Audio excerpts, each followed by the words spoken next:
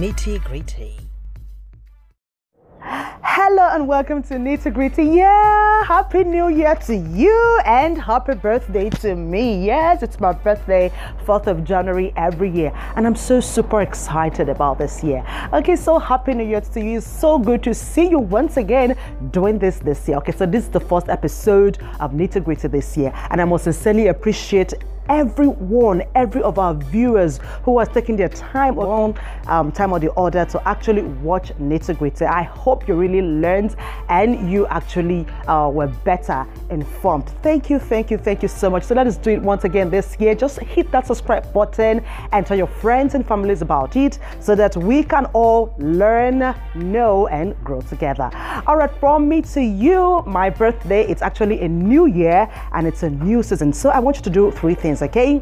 Improve on yourself, invest in yourself and explore better opportunities okay? If you actually did some things last year and it didn't work okay why waste your time and energy on that particular thing okay? Or you can actually also do um, okay, something like improve on better ways to actually do that particular thing. And if it's not working don't waste your don't waste your time and energy on that okay?